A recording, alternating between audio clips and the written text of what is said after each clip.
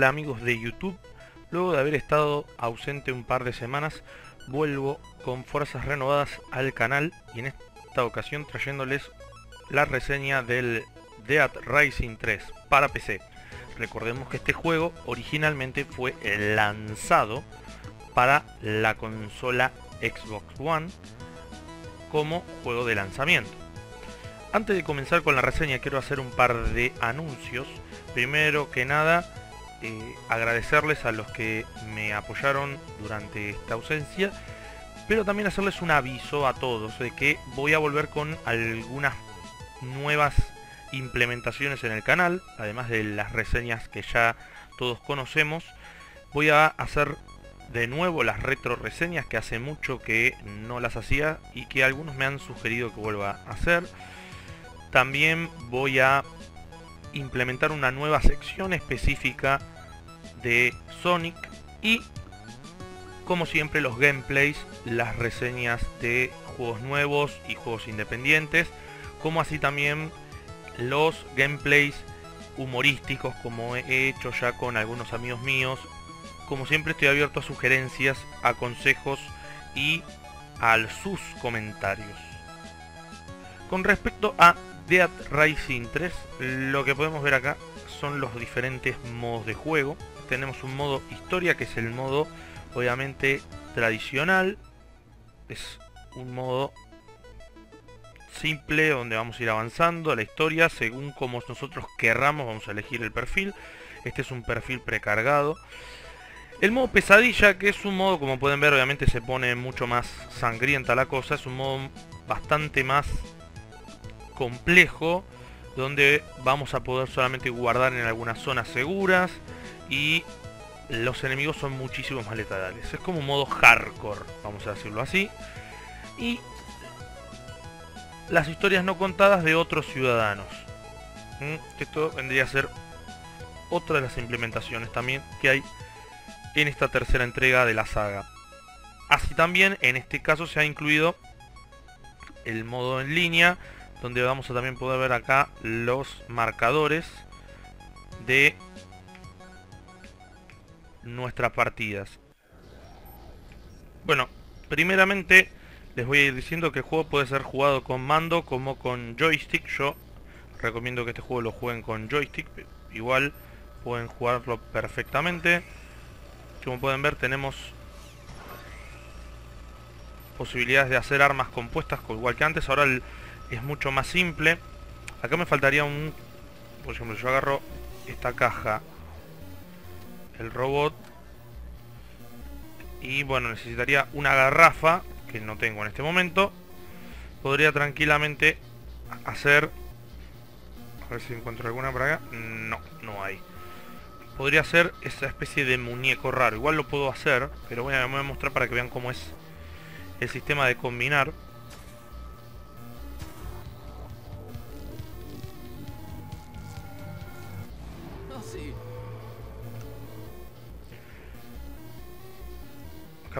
Una máscara, si queremos ponerle nuestro personaje. Vamos a mostrar la dinámica del juego. Igual que antes, esto sigue siendo igual con respecto a la comida. Mm.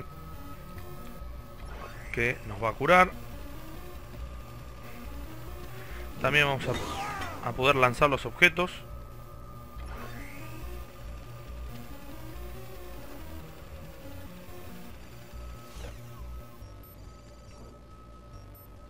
Vamos a tirarlo. Nick, hay una muchacha ilegal muy bonita en Ingleton Motel. Parece enojada. Bien. Como se habrán dado cuenta, la voz está en español latino. Esa es una de las cosas Eso puede servir. que están bastante buenas, que es el poder colocar el juego en español latino. Esto es algo que me gusta, porque primeramente que no me gusta el español de España, pero bueno, lo tolero. Pero me agrada más mucho más el tener que jugarlo en un español neutro al menos. Primeramente ahora vamos a ver el modo de juego. Vamos a probar el arma que hacemos en la cafetería.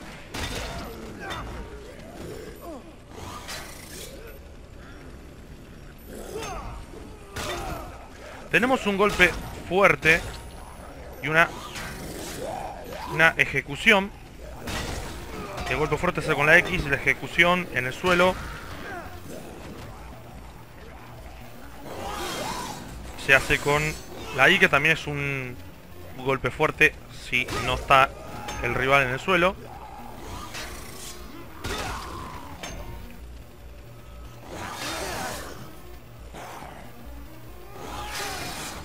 Bien, ahí los ejecutamos.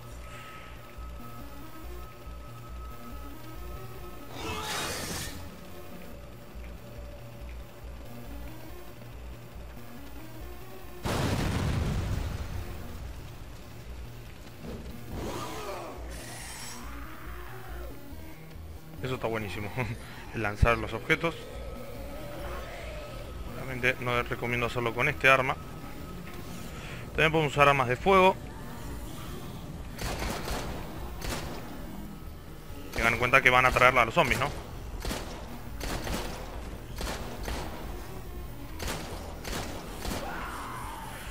Una de las principales críticas que le voy a hacer al juego, que para mí es una de las cosas más penosas que este juego me ha dejado, es la mala optimización gráfica que tiene. Tiene una optimización realmente muy, muy, muy, muy, muy mala.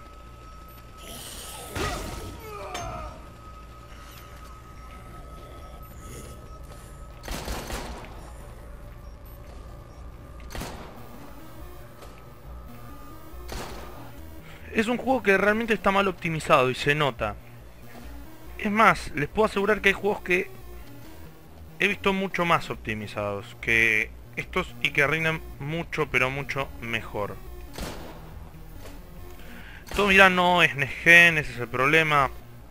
Miren, que sea Next ya no es una excusa. Porque voy a dar un ejemplo de otro juego que está muy bien optimizado. Un juego que analizaré en algún momento, que va a ser, seguramente lo haga en la brevedad, que es el Tierra Media Sombras de Mordor, que está muy bien optimizado. Y ya vamos a ver por qué en su momento. Pero con respecto a Dead Racing, debo decir de que es muy triste la optimización. Es más, debo decir una, realidad. He tenido varios problemas para poder hacer que este juego corra como tiene que correr. Porque realmente no ha, no ha funcionado bien el sistema... El sistema para que el juego corra en óptimas condiciones de entrada. Bien, acá tenemos planos para hacer con una tubería.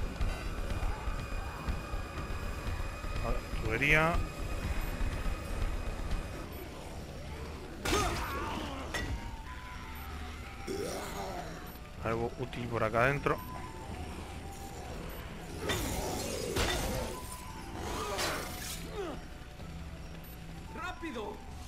Vamos a poner la armadura. Capaz que con la armadura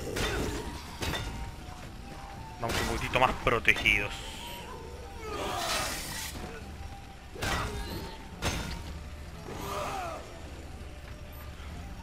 Y no, si alguno se pregunta, no, estoy jugando Dead Racing, no estoy jugando Dark Souls. Malísimo el chiste.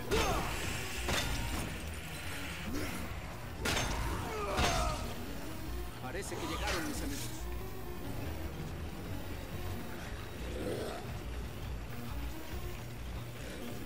Eso sí fue un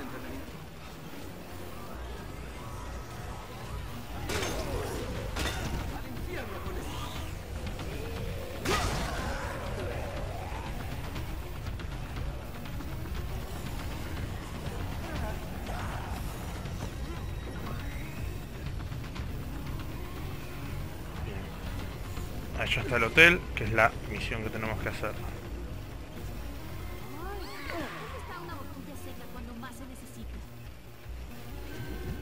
Bien. Cuando vean que el arma les empieza a titilar en, de esa manera, quiere decir de que... Opa, ah no, no se puede pasar por acá. Quiere decir de que está...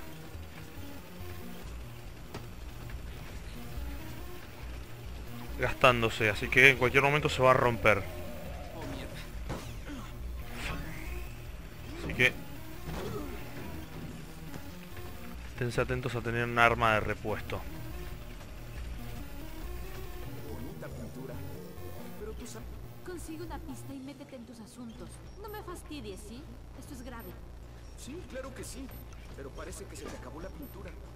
¿Por qué no mejor consigues un lugar seguro y terminas después? No va a haber un después si no termino esto. Espera. Espera. ¿Con quién estás, eh? ya debe haber arreglado esa ¿Eres un televisión. ¿Qué? No, no soy un soplón. ¿De qué hablas? ¿Por qué es tan importante? No es para mí. Es para los míos. Los que viven escondidos por culpa de esos fascistas. Ilegales, espera. Este símbolo significa que hay un lugar seguro cerca. Estas estatuillas búsquenlas, como obviamente es uno de los coleccionables. Bien, hacha de bombero. Bien, dice que gasté dos puntos de experiencia. Este es el árbol del el juego para don- donde ustedes van a poder cambiar los diferentes atributos. Ir mejorándole las habilidades. Obviamente podemos gastarlos y de esta manera mejorar nuestros atributos.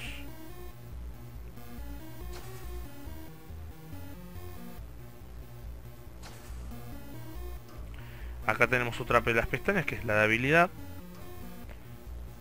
Esta es otra solapa que es la de prueba, donde acá vamos a poder también probar algunos nuestros retos, o sea, crear tal objeto, crear un- una caja sorpresa de 50 veces, hacer tal cosa eh, tantas cantidad de veces, matar 500 zombies, vendrían a ser una sola para achievements.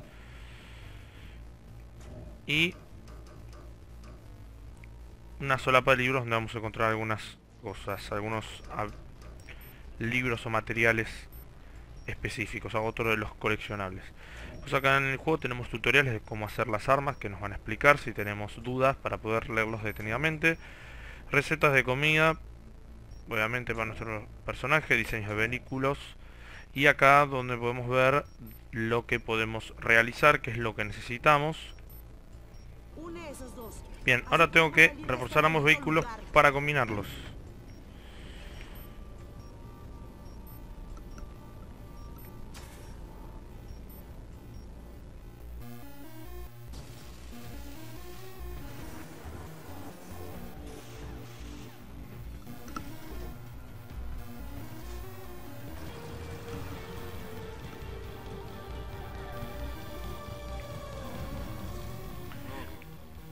Haber hecho esto mucho tiempo atrás. Bien, este es otro de los elementos que trae este juego, que es el de los vehículos. Si algo que me gusta de los vehículos de este juego es... Me siento que estuviera jugando al Carmageddon.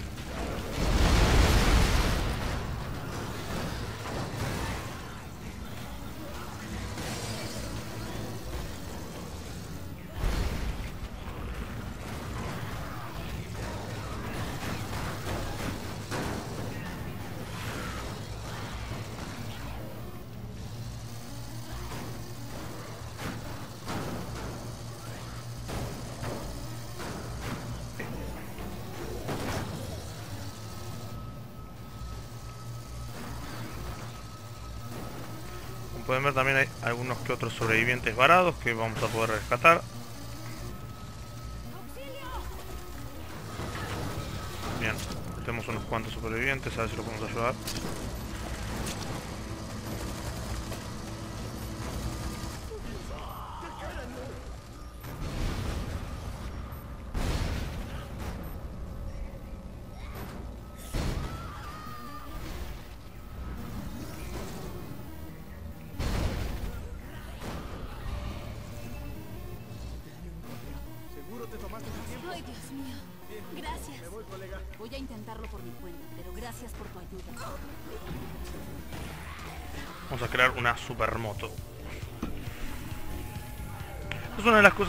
mantiene el juego y que está excelente, ¿no?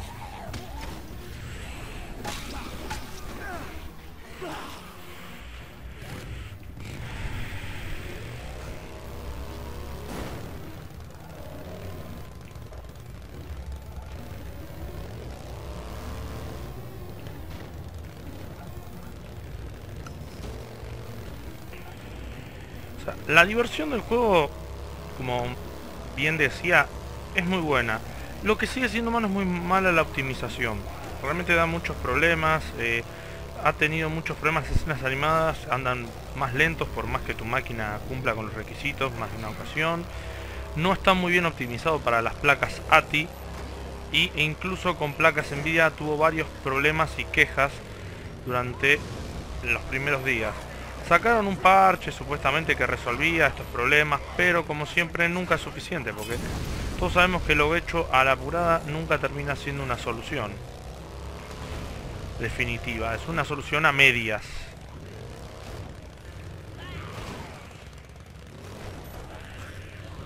No podemos pedirle mucho más siendo de que se trata de un port. Un port que está bastante flojo, debo decir, en ese sentido. Respecto a la diversión, el juego es bastante entretenido, bastante bizarro. O sea, es el humor típico y bizarro que tiene este juego. Que no, no, no, le, va- no le van a encontrar mucha mucha diferencia a lo que ya veníamos viendo en entregas anteriores de de Arising.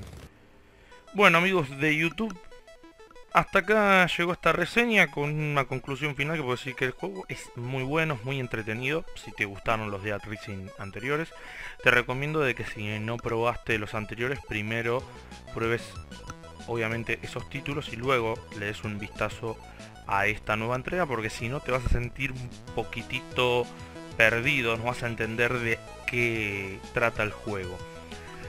Han mejorado muchas de las cosas que se le pidieron, como por ejemplo la combinación de armas, eh, la combinación de vehículos y todo, que ahora es mucho más simple, resumida. Está buena esta inclusión de un menú, se han incluido muchas opciones que hacen que el juego sea realmente muy bueno y simple a la vez y también entretenido.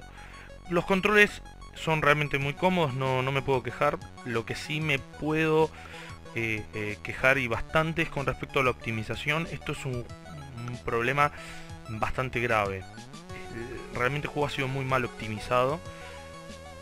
No lo, no lo van a notar capaz quienes tengan una placa que sea de gama muy alta y lo sientan apenas, pero yo por lo menos no, no lo sentí, pero creo- sabiendo que esto sucede y conociendo y viendo cuál era la problemática que este juego tiene, además de que me di cuenta solamente con compararlo con otros juegos que fueron muy bien optimizados, uno se da muy pero muy cuenta de que este juego está muy mal desarrollado en la parte de optimización.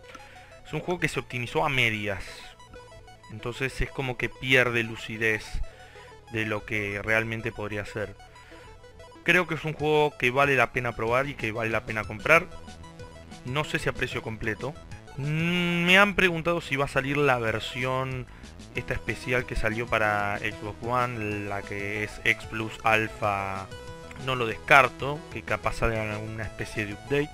No ahora porque ese update se marcó como exclusivo para consola, capaz más adelante. Como ya les dije, esténse atentos a las nuevas secciones, a la próxima reseña, al retro review, a los próximos gameplay y a la nueva sección La Cueva del Erizo. Así que espero que les haya gustado. Soy DJ Sonic diciéndoles chau. Hasta la próxima.